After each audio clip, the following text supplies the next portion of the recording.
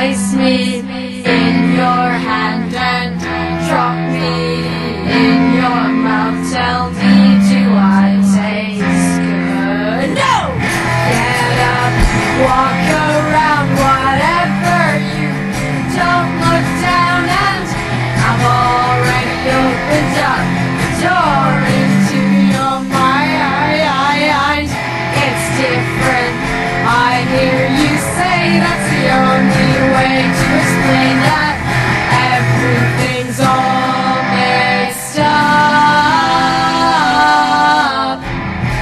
open up and gently purse it underneath the tree and you begin to draw what looks like me.